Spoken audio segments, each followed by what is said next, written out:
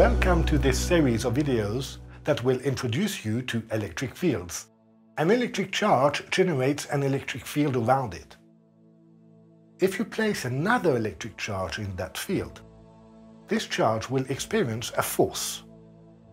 And you know that a force triggers motion, right? Second law of Newton, F equals ma.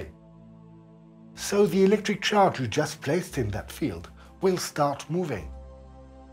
And what do we call the motion of an electric charge? Well, an electric current. In other words, electricity. This is why the concept of electric fields is so central to all topics related to electricity. It is crucial to have a good understanding of electric fields when you study these topics.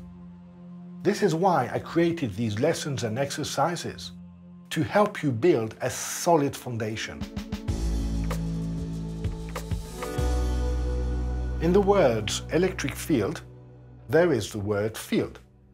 So the first video focuses on defining what a field is, and from there branches to the definition of an electric field. The two videos that follow describe in detail the cause and the effect of an electric field by introducing the notion of electric field strength.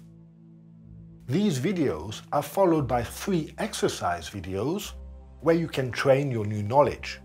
As bonus, the last exercise will show you how Coulomb's law emerges naturally from the notion of electric fields.